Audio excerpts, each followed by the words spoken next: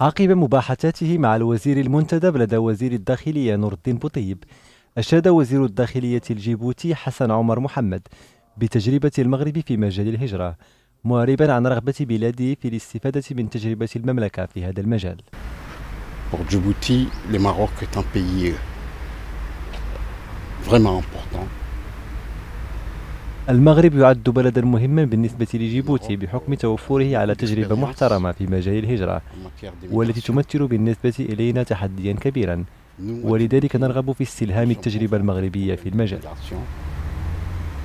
Nous allons nous inspirer de l'expérience que nos amis marocains viennent de nous exposer.